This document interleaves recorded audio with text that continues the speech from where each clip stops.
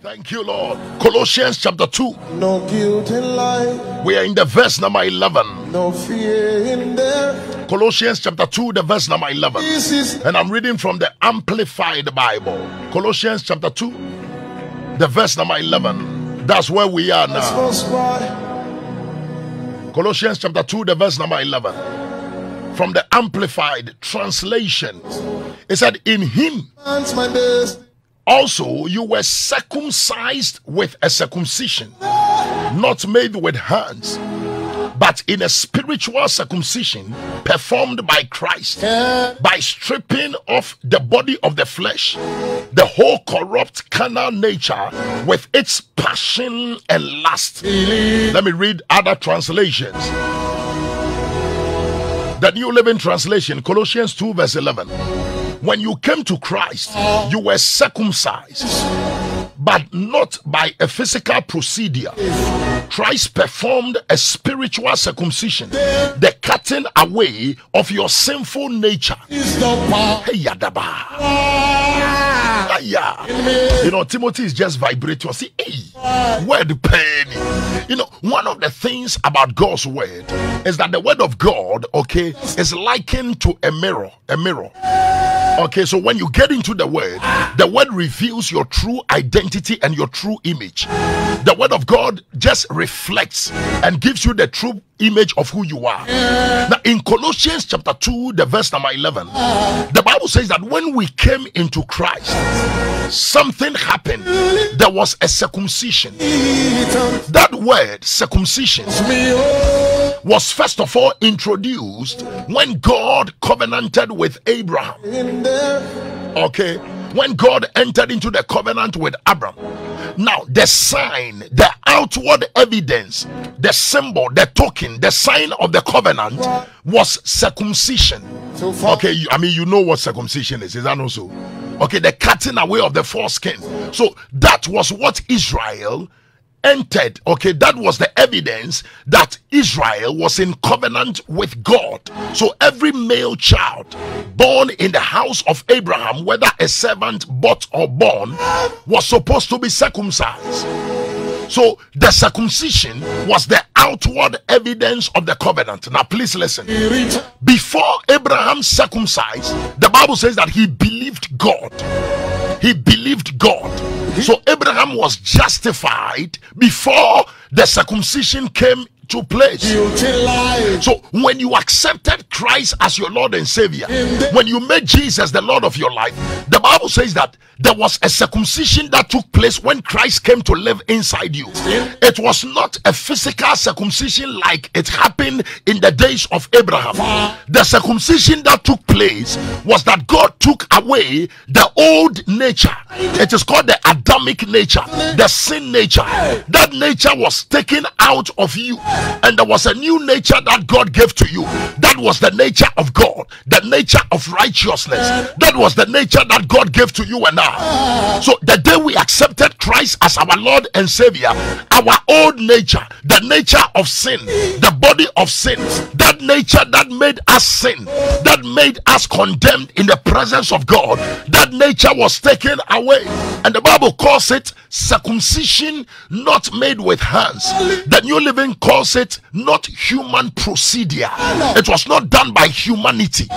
Abraham's circumcision was done by man, but the circumcision we have in Christ, it was done by Christ Himself. So, as I am speaking to you today, if you are born again and a child of God, the nature of sin is no longer inside you.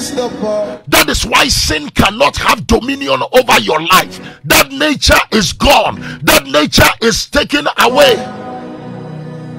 To find a breath. Come on here. Jesus But Pastor Kojo, I, I still sin. oh. my. I, I still sin. Oh, yes. And I'm going to show you why you still sin. Why you still sin. Let me read it again. Colossians chapter 2, verse 11. Can I'm reading from the New Living Translation. When you came to Christ, you were circumcised, but not by a physical procedure. Christ performed a spiritual circumcision, the cutting away of your sinful nature, Christ. the taking away, the cutting away, the removal of your sinful nature. As I'm speaking to you now, there is a new nature you have. It is called the nature of righteousness, the nature of Christ, the nature of purity, the nature of holiness. That is the new nature you have. Now you remember yesterday I told you that you know my my good friend, okay, Dr. Paul sent me a message that you know the baby, okay, the baby girl, the baby girl has a womb, she has everything. So the baby girl is a complete, you know, human being, complete. That was yesterday when we studied. Now, the old, the sinful nature has been taken away. But why do I still sin? Why do I still do the wrong thing? Repentance. All cause Number one, because even though the sinful nature has been taken away and you don't have that nature by virtue of being in Christ, your mind, your mind, the day you got born again and accepted Christ, nothing happened to your mind. The way you think, your thought pattern, the way you reason, it is still the same. So after you are born again and you have accepted Christ as your Lord and Savior, you are born again a spiritual baby. Okay, it doesn't matter your age, your age physically. You may be 80 years old physically, but the day you got born again, you became a baby in Christ. So what do you do to babies? What food does do babies take? Milk. The Bible says that as newborn babies desire the sincere milk of the word that you will grow thereby. So God understands that even though the old nature has been taken away, there is a growth required for you to be able to manifest your new nature. If you are not growing as a Christian, if you are not growing, even though the old nature, the sinful nature has been taken away, because you are not growing and your mind is not renewed by the word of God, you are going to be dominated by sin. You will still you will still be sinning and be messing up all over.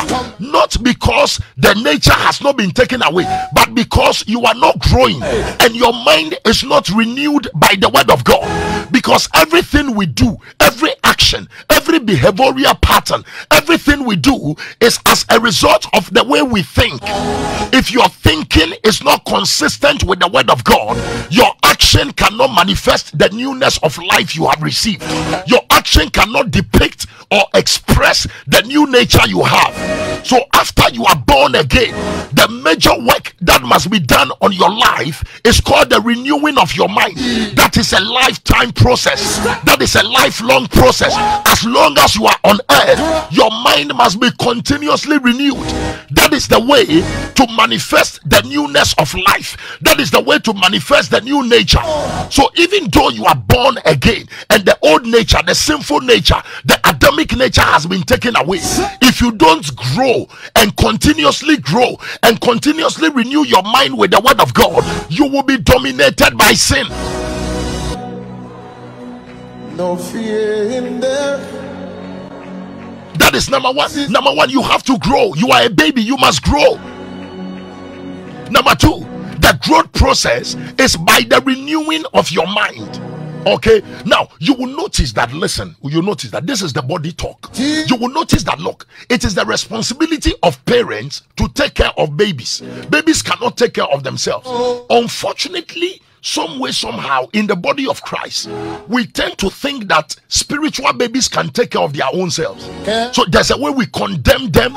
We, we look, it doesn't matter how long you have been in church. The length of days in church is not equal to spiritual growth. Let me repeat it again. The length of days, the number of years you have spent in church, doesn't mean that you are growing spiritually. Oh. Come on here. Are you here with me? The, the, the the food the spiritual food you are exposed to the nutritious content of that food determines how healthy you grow as a christian. In the same way do you notice that look i mean if you take two babies dr Paul, help me you will notice that one baby grows very well by by virtue of the quality of meal that is fed to the baby another baby is also not growing well not because the baby is not growing but if you look at the food they are giving to the baby the nutrients is not well balanced. So it is not helping the development of the baby. But you go to another place and the baby is growing so well. Now aqualate sma you know lactogen you know aqualani except you know by faith let me share this story with you. You know my wife my wife our first daughter was born in london okay? My wife was in school. She, she was there. And when the child came you know after the six months you know my wife started my wife brought some food from london. You know at the end of the who be that So far. you know so i took the container went to uh, a supermarket in tema when i saw the price this was in 2011 was I when i saw the price now i'm saying hey na akwala way be this aduane na me kra me kra me this aduane way when I got home, the child was asleep. I laid hands on the child. Okay, your friend uh, Fia, Phoebe. Okay, Chiwendu. Now I'm in the name of Jesus, me sani koko anointing guso, anointing ayedunum koko, me sani guso. Look, church, people of God, from that day, my daughter rejected the the, the SMA on the food. Now, woman koko, or num koko ni sa. My wife said, Hey, how come this child like? Now I'm saying, Ole Guilty life. ole ni nje na na na na saa adua eh, saa sika no na me me ma me wo me ɔtɔ ɛsɛ me ma This is the power of Christ. wo deɛ mpɛ koko bi nom From first cry wɔne mmereyɛ till final breath o ɔbaa ne wɔɛsɛ mi wɔnkyɛ ngɔgye commands my destiny. you know we walk by faith. No.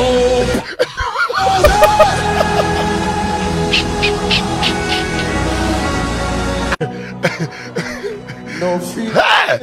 No if you are not careful your babies will eat your salary i'm telling you i'm telling you some of you must release you know otinshunu you know kenke water ɛwɔ dɔko you must release it on your children release it on them. You know, when they see the lactogen, they will reject it. When they see the kenke water, say, Kai. Madabradiada. What's the American way the SME? no To Chrome have a pay SME. Now, one guy's out. One more the SME crab out. Do you know how much they pay at the port? can ever blood. Let's go ahead.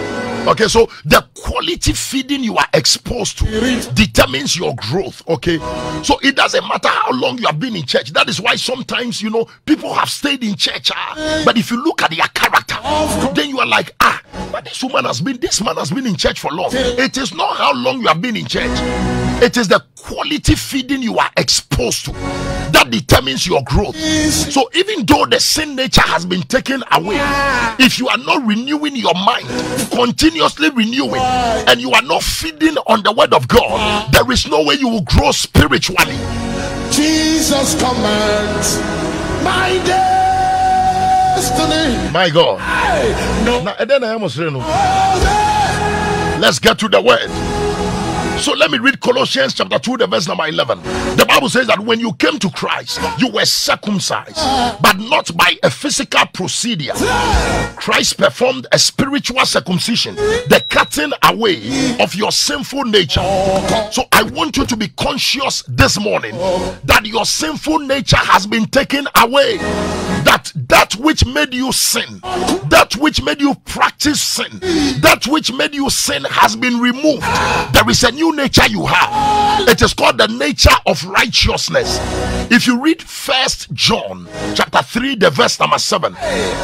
First John chapter 3, the verse number 7. The Bible says that little children, be ye not deceived. He who practices righteousness is righteous. There is the imputed righteousness. That is what we receive by faith in Christ. But there is the practicing righteousness. That is what we do as a result of the imputed. The imputed righteousness is what empowers you to practice righteousness.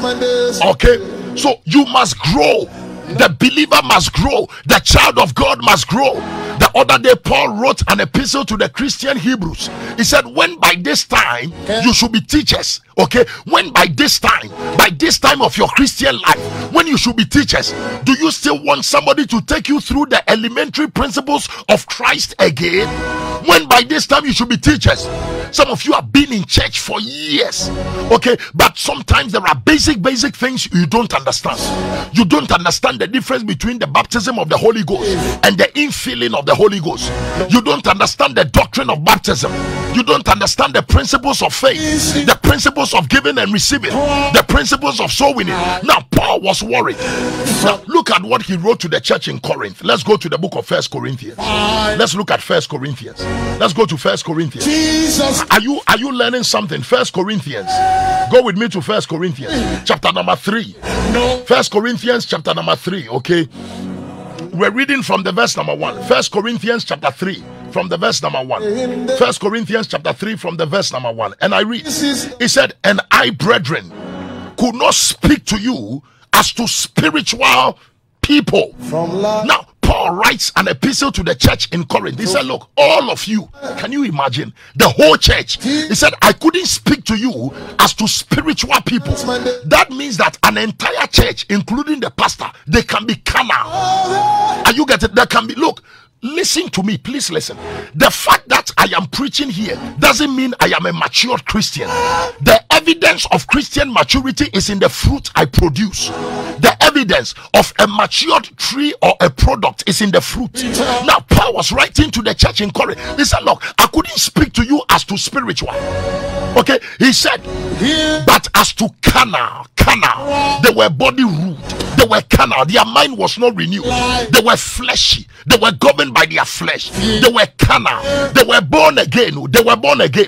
Please listen, they were born again, they had accepted Christ as their Lord and Savior, but their state, their state was carnality, they were carnal. Paul said, I couldn't talk to you as to spiritual.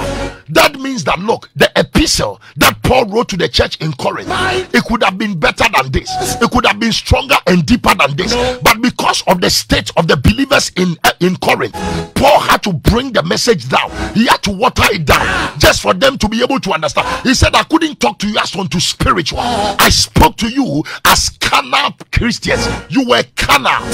Your honam, your friend honam, body root. Okay, body root. They were carnal. Now look at it. Let's go ahead. Then he said, You I, I- as to babies in Christ. So, one of the characteristics of babies in Christ is that they are carnal. Okay, babies in Christ, they are very carnal. Okay, that's why you hear, and this one has fornicated, and this one has done this, you know, a carnality. Those are signs of carnality. They are babies in Christ. They are in Christ, so they are born again, but they are babies. And I told you that your physical age doesn't matter. You may be 90 years old, but you are a baby in Christ. You are carnal. Okay, canal. And listen to the word canal. Canal. It's like it's like a path. You must go out of it. You go out of carnality. You move out into spirituality. It's a canal. Canal. Canal. That is it. You don't dwell there. A canal is a path. Is that also? It gives you access into something. So you go out of it. Don't dwell there. Don't remain a canal Christian. Grow into spirituality. Now look at it. He said, he said, verse 2, First Corinthians chapter 3, verse 2. He said, I fed you with milk and not with solid food. Do you see that Paul is telling them that look, I was teaching you milk. The things I was teaching you, they were milk. I wanted to give you solid food, but I realized that no, you can't take it. It is like a baby, okay? Can you give a two month old baby uh, uh, banku and tilapia? Guilt and love. No. Can you give a one month old baby fufu and uh, abenkwai? So, so, but you give the baby milk. So Paul said that look, I fed you with milk. There is the milk of the word. He said, I didn't feed you with solid food. There is the solid food of the word. Okay, and one of these days I'm going to preach to you the meat of the word, the solid food of the word. I'm going to preach to you the wine of the word, the wine, the wine of the word. Okay, he said, For until now you were not able to receive it, and even now you are still not able. Look at it. They were not able, eh. and even still now they are still not able. They are former state. They are current state. They are former state. They are current state. Do you know that sometimes in football, okay, the person is a footballer, but Timo, sometimes they say, oh, only form. He, he is not he is not in form. It doesn't mean he's not a footballer, but his current state is not good. He's not in form. He's not in shape. Paul says that look, I tried feeding you with milk, you couldn't take it. Even now, you still cannot take it. Then he goes ahead and says, He said, verse 3, he said, For you are still carnal. Now look at what he's telling the church. He said, Look, Corinthian Christians, you are still carnal. Jesus. Moya hunam, you are still carnal. Then he begins to describe the characteristics of carnality one more time. He said, For where there are envy, envy, envy, there are strife, there are divisions among you. Are you not carnal and behaving like mere men? For when one says, I am of Paul, and another says, I am of Apollos, are you not carnal? Oh, as for me, I me, I like this, uh, you know, I am, I like this man of God. Me, I don't like this man of God. Me, I like this pastor. Me, I don't like this pastor. You are carnal. We are hunam. We are hunam. is the. Division. Say, Paul says that look, when you say me, I'm of Paul and me, I'm of Apollo, are you not still carnal? He said, You are carnal. We are hunam, you are carnal. Stop saying, Look, I like this, I like you are carnal. We are hunam. Okay, my days. You are carnal. Okay. Me, me, I like this man. Me, I don't like this man. You are. We are hun. It is human, hunam, hunam. We are. Hunam. Let's go back to Colossians chapter 2. Colossians chapter 2. We're in the verse number 12. Colossians 2:12. Till he said, You were buried with him in baptism. Now he is actually introducing the doctrine of baptism. The. The word baptism is the Greek word baptizo to okay. No. That means to be immersed. Okay, to be immersed. No. Now please listen. There. There was a reason for the sprinkling of water, okay? There was a reason. In the dark ages of the church, where they were hiding in caves and undergrounds to worship God, they couldn't publicly proclaim the Lordship of Christ. So they were hiding. So they had to find a way to baptize the new convert. That was one of the major reasons why the baptism of sprinkling came about, okay? But the true meaning of baptism is to be immersed to be immersed. And the reason for baptism is because it is the outward demonstration of your identification with the, the, the crucifixion, the death, the burial, and the resurrection of Christ. So get this picture clear. When you get into the water, okay, that is the death. When you are immersed in the water, that is the burial. When you are brought out of the water, that is the resurrection. So baptism is the public, okay, the the out the public, you the, the public identification with the death, the burial, and the resurrection of Christ. So Paul is telling the church in Corinth that you were buried with him through baptism Lift your voice and say. okay, in which you were raised with him through faith in the working of God who, who raised him from the dead. So that is the doctrine he's teaching. That look, when you are baptized, it is the public evidence of your identification with the death. The burial and the resurrection of Christ. I said, when you enter the water, that is the death. When you are immersed in the water, that is the burial. When they bring you out of the water, that is the resurrection. Uh, Colossians chapter 2, the verse number 11 and the verse number 12. And in the verse number 13, we'll continue from tomorrow. The Lord bless you. This morning, if you don't know Jesus as your Lord and Savior, that is where it begins from. You want to receive Him as the Lord of your life. He gave His life for you. He loves you. He still loves you. That is why He came to die for you and I. This morning, you want to receive Him as the Lord of your life. You want to say with me, the Lord Jesus, thank you for dying for me. This morning, I receive you and I accept you as my Lord and Savior. And I declare that I'm born again. Thank you, Lord Jesus. Hallelujah. Amen and amen. All right. The Lord bless you.